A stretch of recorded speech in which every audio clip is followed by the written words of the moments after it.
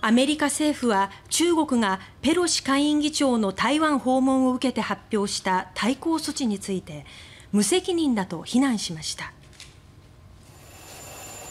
中国が昨日発表した対抗措置は米中両軍の高官による協議の中止や気候変動に関する協議の一時停止など8項目に上ります。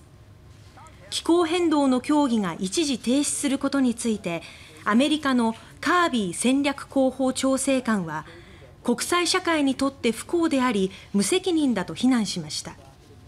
また両国間で偶発的な衝突を避けるために中国政府との対話の道を維持する取り組みを続けると述べました。